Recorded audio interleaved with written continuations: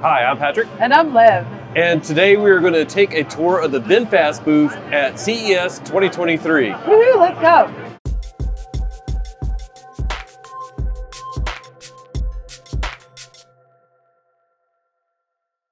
First things first, we have the VF7. This is pretty exciting. Um, we have all the stats here. The range is 268 miles and that is WLTP. So we know that that's going to be a little lower in the American market.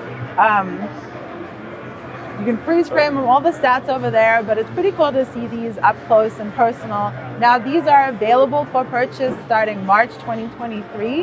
Um, hopefully they're going to be doing some of the sweet packages that they did on the other purchases, the NFT stuff and all that um, which we don't know yet. And I just noticed the door handles are like on the Model 3 and Model Y from Tesla, which you don't like. I didn't hear what you said. The door handles, they're like the Model 3, Model Y, so they're yeah, not very accessible if you have dexterity issues. It would be cool to watch someone actually open them because obviously the Model 3 and Model Y, you have to press it with your thumb and grab it. Is there anything that pushes out this door handle? No, I just watched them do it. It's, oh, we got then it on no, camera. I really don't like that, yeah. And then over here is the VF6. Uh, we really like the size of this one. Uh, the range is uh, up to 248 miles. So again, that's WLTP. It worries me that if it's like 248 WLTP, that if we get that over here in the US with the EPA range, that might be down to uh, just over 200, which could be not enough for what we want. But for a lot of people, that will work. Uh, I do like the uh, the styling of the VF6 and the size. I think it's a great size. I particularly like this, especially for me, and I think that it is petite. I do like a petite car. I know some other people are looking for that. One thing I do know, the charging port on this front left quarter panel is really nice. Uh, some of the vehicles that we've seen, of course, with the charging port on the front, um, that could potentially be an issue if you get, if you rear end someone or whatever, but if that's something you've never done, unfortunately I have done that, um, then that could be a concern. I like the fact that the VF6 has actual handles, like Patrick mentioned, the 7 has those weird Model Y push-out handles. These actually have an interesting indentation and it looks easy to grab nice and petite. And obviously with the same VinFast styling, their, I guess, trademark V on the back. and it was uh, designed by Pininfarina. I'm not sure if all models were. I no, think, there are two so. models that were designed by someone else, and we oh, don't remember. We should remember this stuff, but we're uh, a bit overwhelmed here at CES, but we're having a blast, and we are just going to, you know, roll with it. We're going to go through, give you as much information as we can. Now the VF8 is actually coming to the US. I believe the latest I heard is that they were being offloaded. They have 999 here in the US for customers. So these will be delivered to customers We'll very, have a little peek right here and look at these people sitting inside there. That's what looks like a pretty tall gentleman, um, both in the front and the back. And so we can sort of see what room they're taking. And this is uh, the front. I don't think I've seen the front just yet. So not huge, you can't fit any luggage in there, but you can store a few things. It has some nice little inserts there. Uh, not sure. We do see these people in here playing with the screen. We did get to demo that. I think at the New York Auto Show, some of the voice prompts and everything. And then yesterday, we actually got a demo of What Three Words, which is functional inside the VF8. They are a mapping, a really interesting mapping program and navigation system that's broken up the entire world into squares, basically, and they are being incorporated into the VinFast vehicles and into 12 or 13 other OEMs currently. It's really cool, and uh, we'll have that video coming out soon too. Now, let's switch over here to the VF9. This is the largest of the VinFast cars that are coming to the US. Uh, you can see it's actually a three row, so you get your first two rows up here, and then there's another row of seating in the back. So it's fairly good size, and then even with that third row, you, you still have a little bit of storage behind it. Uh, Liv's going to see if she can put the seat down. Ooh. I think that was don't I put the seat that. down. the headrest first, then the seat. The headrest. Oh yeah, that that's the way our car sense. is. We should yeah. know better. no, it's okay. I showed the things a lot of people might do. So. um, but yeah, wow, that it looks it looks massive right here. Oh, it really does. Three rows of seating. It is great to have more three row options, uh, which a lot of people are looking for. And these are, I mean, full seats. So full and concise seats. Yeah, very, very good size. Now, something that they have not displayed before here in the U.S.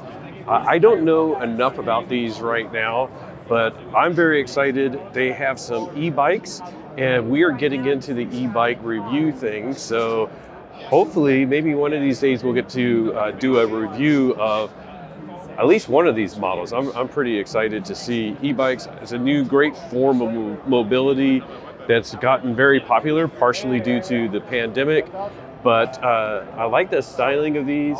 It looks like uh, this one might be a little bit more compact. trying to get views here. Uh, the next one, it looks more like a like like an old uh, old-fashioned like dirt bike scooter, big, rugged, fat tire, and then down there, that's more my style. Uh, like a hybrid bike, not not necessarily like a road bike that you can get. Let's walk down. I do want to actually draw attention here, though. That one's foldable. Um, yeah, this is foldable. As you can clearly see, there appears to be quite an ergonomic little handle in the middle there. So we can assume that this folds. Um, I imagine it folds sideways. Um, so the both wheels on the bottom there. Yeah. And, and obviously you have the uh, security for the battery back there, Yeah, right? it looks like you can um, lock the battery in, and then when you want to, you can uh, unlock it and pull the battery out. So and I, now looking at this really close, though, can you see there's another folding grip um, on the uh, seat there, and there's one over here on the handle. So it, there's three points here that we're looking at right now that you can fold it sideways, you can fold the seat down. I don't think you fold the seat down. That's just a, that's the lower, yeah, like normal. But it's definitely we can tell from this one that they're trying to make it compactable. Uh, I like I like that. That could be actually useful, especially like on public transportation, or if you just you know want to buy a smaller car and be able to throw that in the in the back. Uh, but these are the ones that I'm interested in. Uh, looks like the battery is integrated into the down tube. Let's see. There you go. You can see it on that one. Doesn't fold or anything like that. Uh, fairly uh, decent sized tires as far as like the width. So it could handle, you know, like a dirt trail, but not necessarily rugged off road. Uh, and these, of course, are pedal assist. It's not like just a full scooter. I'm really excited to see these. I don't know the pricing or anything. We're trying to get some of that information. If we have like a website or any type of information, we will post that in the description. Uh, any other thought comments? I think we wait one second and see if we can chat with someone. Good thing we stopped because we got a whole bunch of info. I didn't even catch her name, but she helped us hear all about these bikes. And we found out they are not like slated to come to the US. They're actually doing a lot of market research, which I was like, oh, I was hoping it would be like this year. Um, and it could still be because this company is moving very fast. But I like the fact that they asked us uh, for design inputs of which one would we use and how would we use it. So um, I don't know if you can like submit that input uh, online to VinFast, but you know maybe tweet at them, message them, do whatever. Let them know what you're looking for in e-bike and what is missing from the current market. But overall, that's the the tour of the VinFast. And um, okay. I do think it's really really cool that they're doing that. Like these bikes are out here on display to get people's input critical input, say everything you want to say. And I think that is a cool thing about VinFast. Oh. They're actually taking people's input and then they're going to incorporate that into a bike. And they've done that with their vehicles before too. And we want lots of your input. So yeah. drop it down in the comments. Let us know what you think about each of those designs, what you would change, what you liked about the colors, which one you would pick, all of that. Let us know. And uh, who knows, maybe we'll find a way to get that over to VinFast and let them know. Um, and did the same thing with the, the different VF number models. Model Which one would you pick? Which color did you like out of the like orange, coppery one or whatever? Yeah.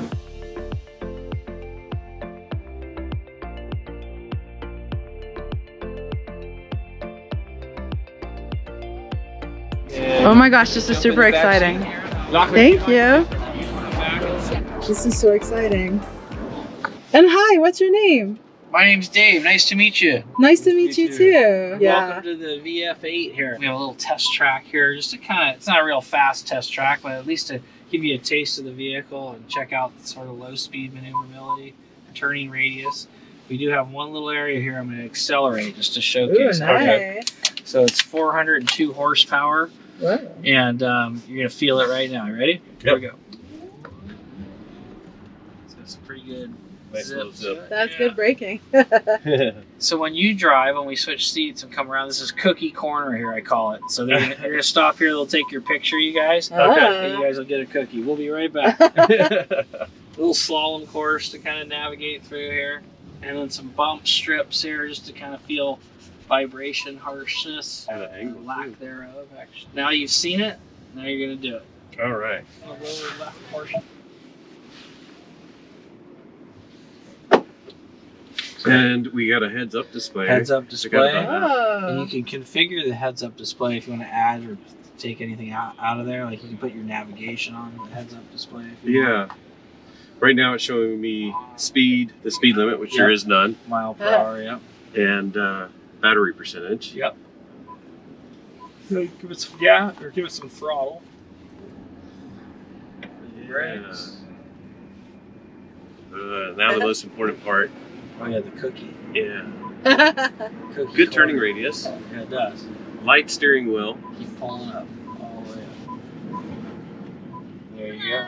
Alright. Come on a little closer. Right there. There we go. Two, three. Yeah, nice. Oh, you It- get to do the bumpy. It's sort of funny because like it's just a quick, simple test drive, but you put some cones out here. It makes it difficult, right? it's like, It's like challenging, right? Yeah. I'm like, I know I have plenty of room, but it's always that way. Like, you know, you get an unfamiliar car. Yeah. Like, how big is the hood and Right. whatnot? But it feels very maneuverable. Steering wheel does feel like really light, like very easy to make these turns. Yeah.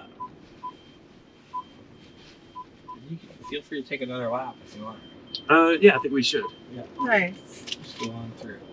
We'll just keep collecting cookies. yeah, yeah, we have a Mach-E. Oh, you do? What do you think of it? I, we love it. Yeah. Um, but like comparing the steering wheel, like the steering wheel here feels light, so it's it's actually nice. Like maneuvering in these sharp corners Oh, okay. is very easy to maneuver. Um, and of course, they're trying to go for the more sport Mustang feel with the heavy steering wheel. Right. And we got the demo yesterday. We were mentioning with what three words. Have you played with that? No, I haven't personally played with it yet. It's actually pretty it. cool. Yeah. Yeah. Wait, can we do the voice controls? Uh, yeah. We can. Uh, What do you want to say? uh, let's see. Hold on. Hey, VinFast. I'm hot. Our tagline is boundless together. hey, Hey. VinFast. Close the sunroof. Didn't hear me, did it? Hey, VinFast. Close the sunroof. Close the sunroof. The sunroof is already fully closed. Oh, yeah. The oh, shade. oh, the glasses. Yeah. Ah, she's right. The shade. Close the shade, you could say. Um, I'm trying to remember how you activate what three words. Oh well, we Should need we- a word like Just pull up. the other red one. Yeah. Yeah. Over there. Hey, VinFast. Close the shade. Close the shade. Unfortunately, I can't help you with controlling blinds yet. There we go. That's it, guys. Thank I you actually very like much. these uh, controls. yeah. That's nice, right? Yeah, I mean it's a simple, quick and easy way. Yep. Oh, you get your whole yeah. computer screen here. With all Yeah. the apps and everything. That Very is cool. cool. How all does your, this all seat your feel? camera angles? This is all your camera angles. You got different angles everywhere. Oh wow, I like the individual selection of the cameras. Yeah, yeah. And then the 360 surround. And it has the trailer, so you can Sure. actually pull a trailer with this. What's the charge They haven't said that yet. Okay. Oh. But ah. my feeling is eventually, yes. You have a trailer icon, you might be. Yeah. Yeah, that's sneaky. That's so cool. Very cool. Yeah. That's Nice really cool. interface. Feels very snappy, so Yeah. that's very very good. And is that showing that someone's going by us? Yeah. That's really cool. Yeah. Just yeah, a car just but you drove could, by you us. could go to different so- angles, right? This is Yeah. right here, this side, and the front. What's in front of us? What's behind us? That's Nice. very cool. Yeah. All right. Well, thank you very Thank much. you so much. Nice meeting you guys. Yeah, likewise. Well, that was a cool bonus. Getting to actually drive a VF8. To be honest, it was really hard to tell, like, you know, the quality or how it's going to ride or drive, even, you know, accelerate or anything like that because it was so short. We're going to see if we can get like a longer test drive or even hopefully they'll do media drives at some point. But, anyways, what did you think? I mean, to be totally honest, I was surprised that it felt nice. Um, maybe you guys, if you've heard much about how the VF8 drives, some people have been very critical, so I was expecting worse. Let's walk this way out of the sound. But like Patrick said, uh, we were on a very carefully made route, um, very slow Very slow. speeds. So yeah, we have to give it a closer look to know for sure. But it's been cool watching the evolution of VinFast. We want them to succeed because we want more EV options. They're bringing five, so And uh, also, we did get a QR code uh, which links to something. I'll put a put the link down below. If you have any feedback about the e-bikes, they are going to be looking for that info. So uh, we'll publish that down below as well. I think that's it. We got to get going to the next e- event or interview. So, um, what do you want to do? You want to wrap this up? yeah, let's wrap this up and we'll just say that I don't know what to say. We don't have a tagline. We don't know what channel this is for.